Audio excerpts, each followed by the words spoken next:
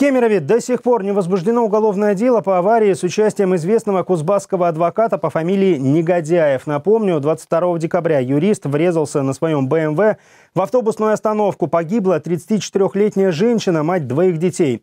Отмечу, что Вадим Негодяев не только член коллегии адвокатов, но и бизнесмен. По данным сайта Госзатраты, мужчина владеет зданием, которое арендует Следственное управление Кемеровской области.